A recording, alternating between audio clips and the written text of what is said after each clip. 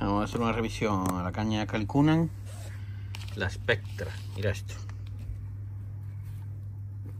Un dedo de fina. 19 de busco. Increíble, ¿no? Todo montado Fuji. Es blanca perlada. Vale. Spectra Layering. Es una caña todo en cap. Dios, que finito, tío. Qué pasote, vamos. Puntero híbrido, bastante sensible. Esto tiene que pesar muy, muy poco.